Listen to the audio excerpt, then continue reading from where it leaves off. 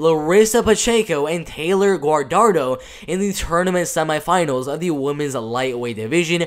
Um, Larissa Pacheco, much, much better wrestling and much, much better grappling. She's going to be the same height and the same reach right there, a lot younger, but um, either way, Larissa Pacheco is going to be a way better wrestler and grappler. She is a BJJ brown belt or a blue belt. I'm pretty sure. I'm, i think it's a blue belt. Let's see right here. Um, she's currently a blue belt in jiu-jitsu and the Jungle Fight Bantamweight champion before signing with the UFC. She fought Jessica Andrade, Germaine Randamie, all of these girls inside the UFC.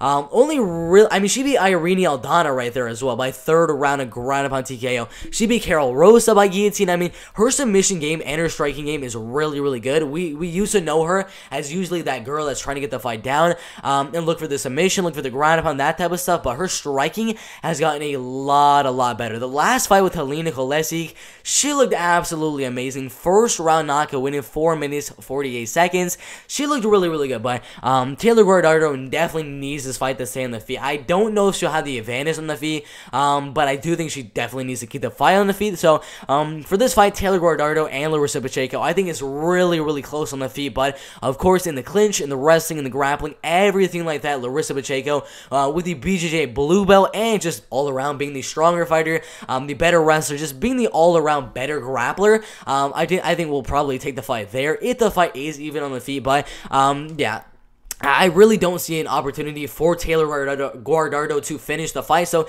even if Taylor is doing good on the feet, Larissa will uh, pull back on her wrestling and grappling, which she's going to have a significant advantage in. So um, seems like an easy prediction. I'm going to go Larissa Pacheco going out there, um, keeping the fight even on the feet. I don't know if she'll have the edge on the feet. It's going to be very, very even. Um, but I think she will end up using her grappling and wrestling. Overall, my prediction right there for Larissa Pacheco and Taylor Guardado is going to be a... Uh, I'm gonna go. I'm gonna go inside the distance. I'm gonna go Larissa Pacheco by a KO TKO win or a submission win. I'm not too sure what she's gonna get the finish in because she showed a lot of power on the feet. She showed a lot of power with the ground pound, and she showed a lot of submission game as well. So I don't know how she's gonna finish it, but I do have Larissa Pacheco inside the distance right there.